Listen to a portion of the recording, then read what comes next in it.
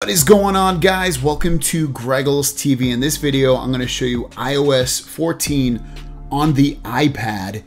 And this is in beta right now. And uh, it's to, the only feature I'm going to show you personally is going to be picture in picture, which is new to the uh, Apple ecosystem, at least on iOS and iPad OS. So I'm going to show you, and I'll show you a bunch of apps and show you how they work and if they do work or don't work. So let's jump into it. The first one Let's talk about YouTube because I think that's a very popular app.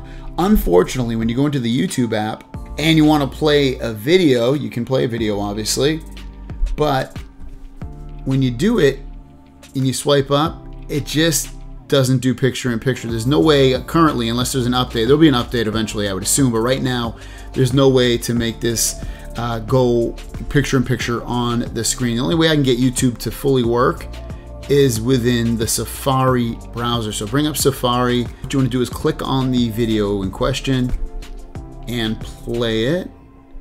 While it's playing, you have to make it as large as it can go. And then you have this button at the top here on the left. When you press that,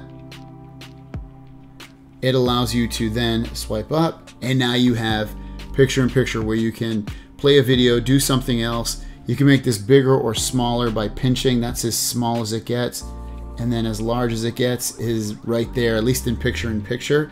And I can bring up, say, Twitter, do all this stuff. And it only goes to the four corners as well. You can't, you know, make it go anywhere you want. So only the top, you know, bottom left or top right, top left, all that. Only the four corners of the screen. You can also swipe it over here and do what you want and then swipe back and it will start uh, going back into where it was and playing. So YouTube, again, the only way you can get it to work is within the Safari browser. Going into my video folder next, let's check out Disney Plus. And going into Disney Plus, right when you go into it, automatically it works. Make it big, make it small.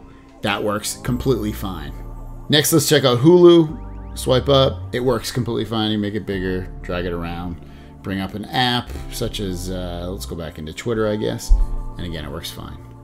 And if you want to go, I didn't show you this. If you want to make it larger, all you got to do is this button right here on the top right, and it makes it bigger. And if you want to close it, there's an X right there. Netflix also works awesome. Same thing with uh, making it uh, picture in picture. You have no problems with that at all. This is Amazon Prime Video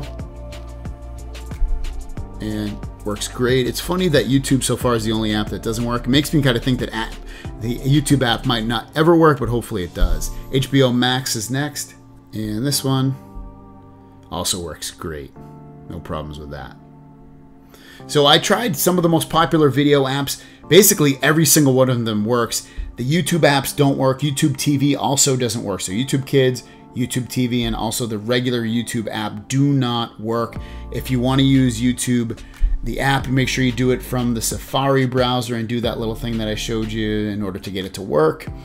But otherwise, all these other video apps do work, which is very, very nice. So if you want to watch videos, when you're doing something else, you do have that option. Have it be, you know, writing up a note or whatever you're doing, Twitter or social media, whatever it is. So there you guys go. Thanks for watching. See you down the road. Peace.